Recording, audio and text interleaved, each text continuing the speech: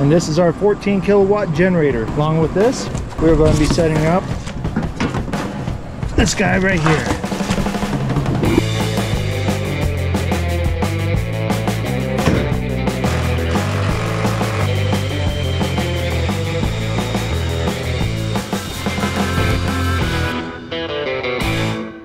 All right, good morning everybody. We are currently out here in Monroe. We are going to be putting up a generator with a 16 circuit transfer switch.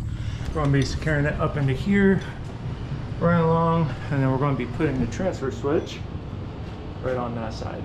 Other circuit should definitely reach. Right.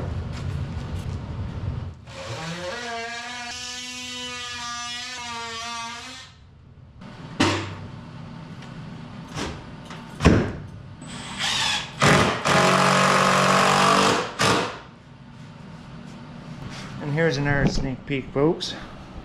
Something you don't do. This wire right there is landed on there. They have it wire netted and with yellow wire nut. We do not use green for jumpers. That is just stupid. And whoever did it, shame on you. We're going to fix it though.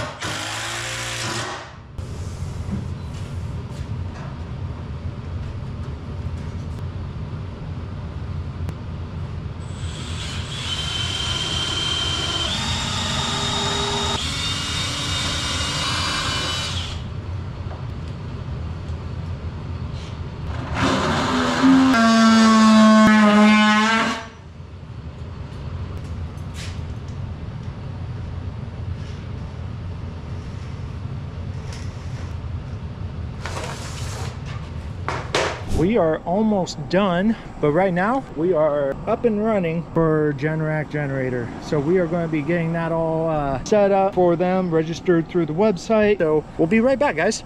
We are now hereby done and just this is fully functional as of even right now. They are good to go in case power goes out. So another successful run. Customer is all done and paid for, all taken care of let's move on to the next one. See you next time, guys.